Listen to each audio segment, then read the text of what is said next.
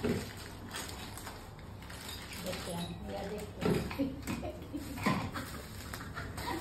Dritika is already very excited for her new tricycle.